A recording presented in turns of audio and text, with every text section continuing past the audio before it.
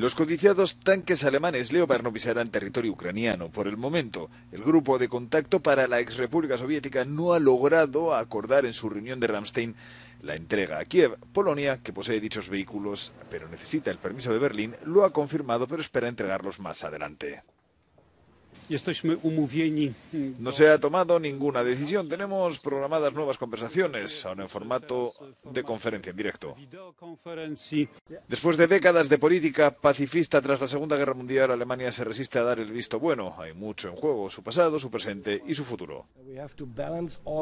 Tenemos que sopesar todos los pros y los contras antes de decidir cosas así, sin más y estoy muy seguro de que habrá una decisión a corto plazo, pero no sé por qué y no sé cómo será la decisión. Las reticencias alemanas irritan a países que no pueden enviar sus tanques Leopard a Ucrania sin el permiso de Berlín.